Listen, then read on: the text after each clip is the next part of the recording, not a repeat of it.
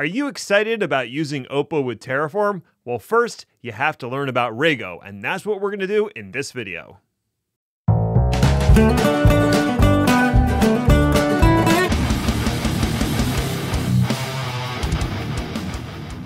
Hey, what's up, everybody? It's Ned Bellavance, Ned1313 on Twitter, for now, also nedinthecloud.com. And thank you for joining me for the next in the series of using OPA with Terraform. Today, we're going to explore the domain specific language that OPA or Open Policy Agent uses, and it's called Rego, and it's spelled R E G O. So, okay, sure, that's how it's spelled. Now, if you haven't watched the previous video where I introduced the concept of using OPA and Rego with Terraform, yeah, maybe check that out first. But I'm going to move forward, and in this video, we're going to get into the Rego language and its syntax with some hands-on examples. So let's jump over to the code editor and get started. All right, I got Visual Studio Code open here, and the repository that we're working with is called Learning OPA and Terraform, and it's available in my list of GitHub repositories. You can also find the link down in the description if you're looking for it.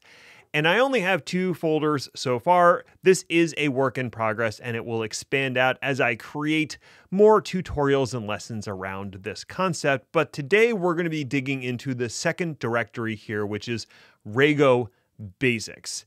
And if we look inside the contents of that directory, we have a README, which will walk you through what I'm talking about in this video if you want to kind of do it on your own. And I also have a JSON document. And the reason for that is that Rego likes to interpret JSON.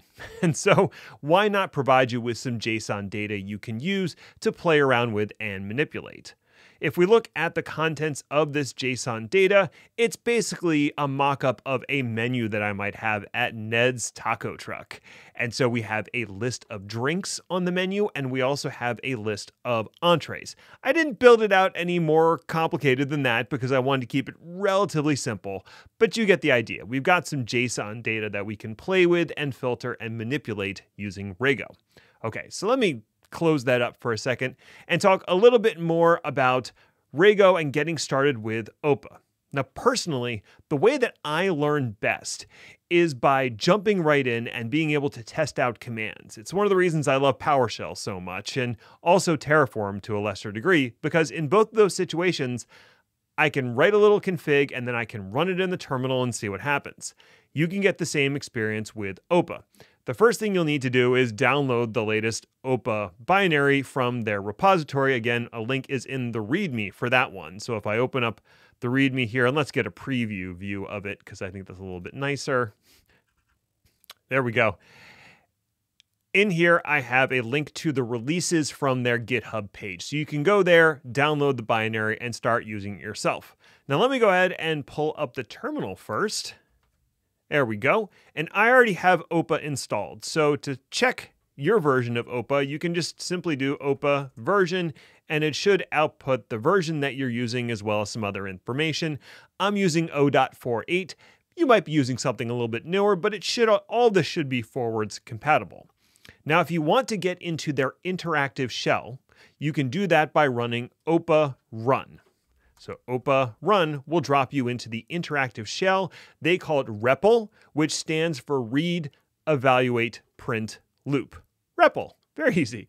So now that we're in this shell, we can start running some OPA, uh, some Rego statements and viewing the results.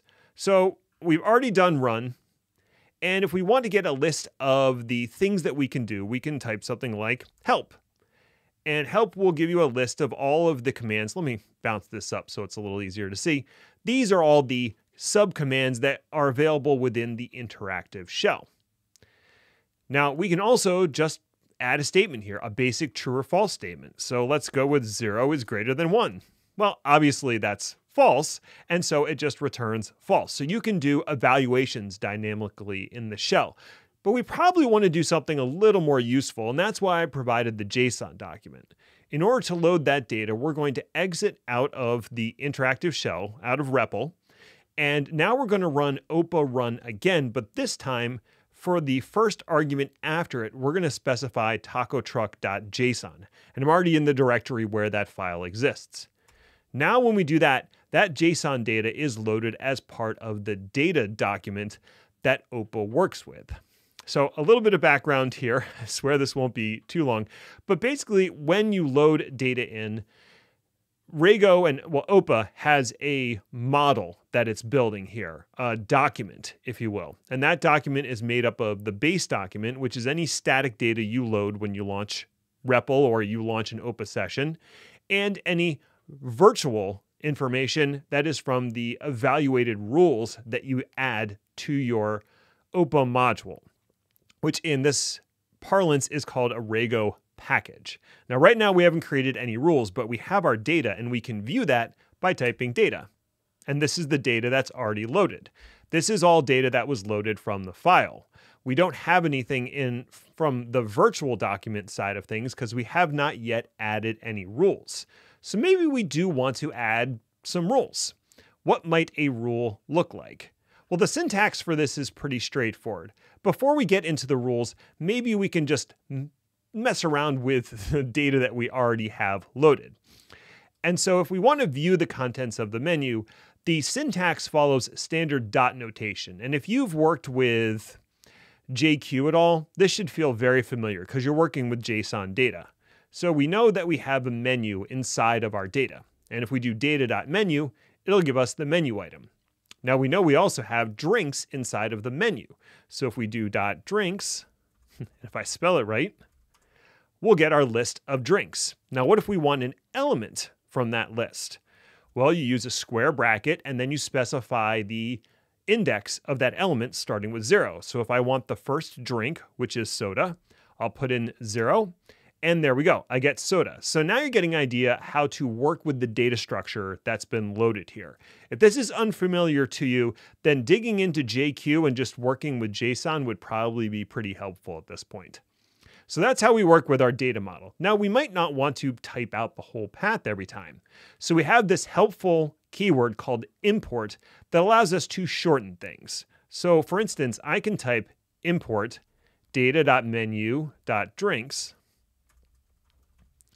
And when I do that, it actually creates basically a placeholder called drinks that will refer to this longer path data.menu.drinks. So if I type in drinks here, I'll now get the list of drinks and I don't have to use that longer path. Now, if I want a more specialized name, I don't want to just use whatever the end of that statement was. Let's say I wanted one for the entrees that are in here. I could call entrees and then say as what keyword do I want to use to refer to this path? And I could call this meals. So now if I type in meals, I get a list of the entrees. So I've made the way of referencing a longer path a little bit simpler with import. Import can also import other packages that you've designed or some internal packages that exist inside of Rego. All right, so now we've got a pretty good handle on manipulating our data with standard dot notation and how to add some shorthand to our configuration so we don't have to have this longer statement. We have a, a shortcut of a kind. Now I think we're ready to create our first rule. And so let's see what rule we had in mind. Let me scroll down here. We already went through all of this. We are going to add this rule, and let me just copy and paste it, and then I'll explain it. First drink, or first underscore drink, and then the assignment operator, which is the colon equals, and we're going to set it equal to drinks, and then the first, first element in our drinks list. So we've now defined a rule in our package REPL. Oh, we have a package now? What's this? Well, our statements, like our import statements and our rules, need to go in a package. That's how Rego and OPA works. And so since we didn't specify a package, when we're in the REPL session, it automatically creates a package for you called REPL. And if we type in show, it's going to show us the rules that we've created so far.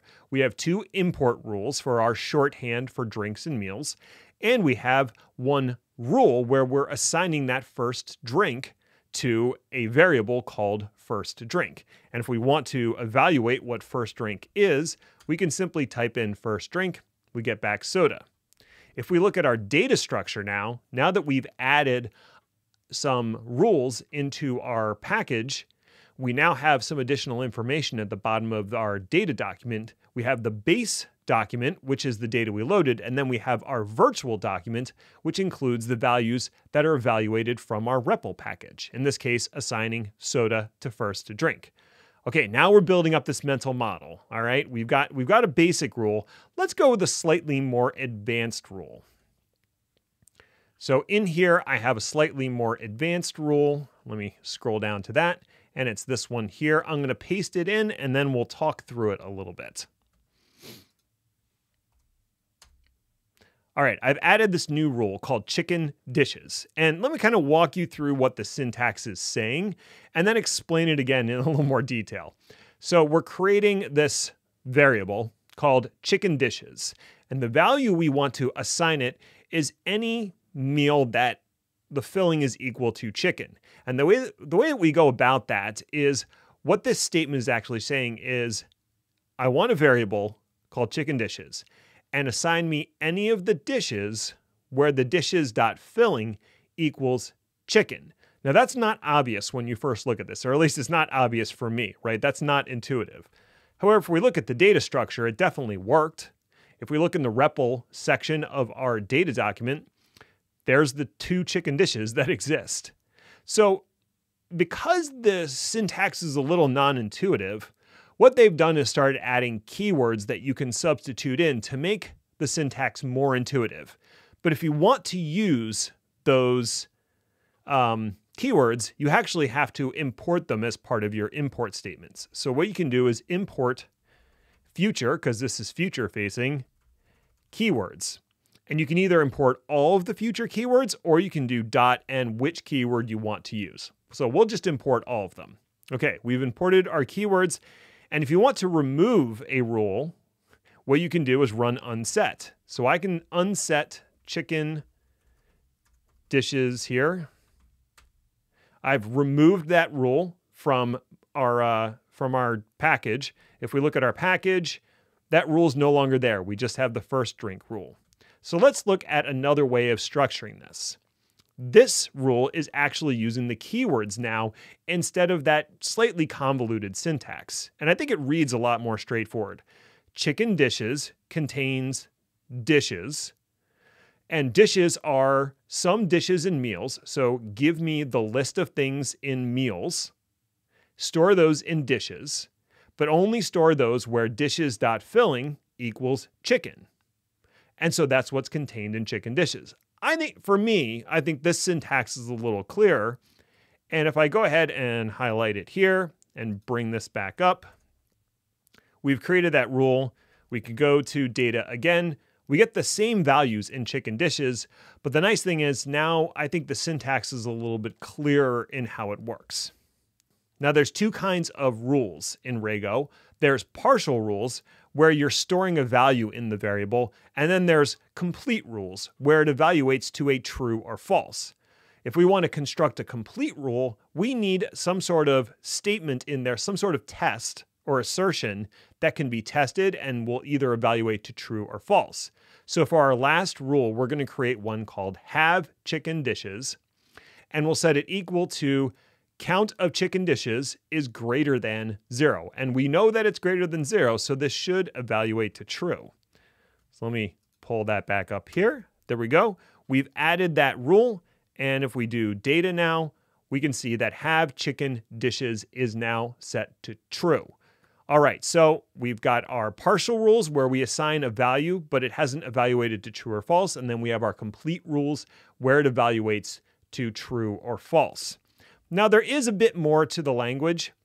And what I'd recommend is at the bottom of this README, I do include a link to the Rego reference where you can get an idea of all the syntax, the special keywords that exist, the built in functions for Rego, and some other suggested exercises to get a little more comfortable with the syntax.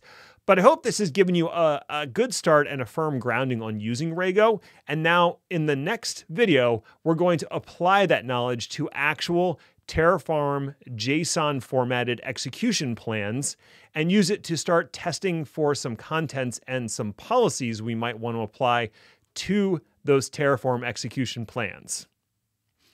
All right, that is going to do it for this episode of using OPA with Terraform. I hope you enjoyed it. I do have a playlist going. Uh, if you want to keep up to date, you can subscribe to the channel. And if you're the kind of person who likes notifications, you can hit the bell.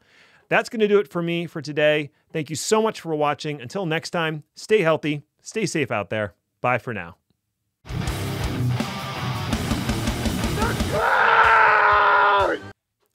Opa! I love saying it. It's just, it's fun to say, right? Opa! Rego, opa! Bye.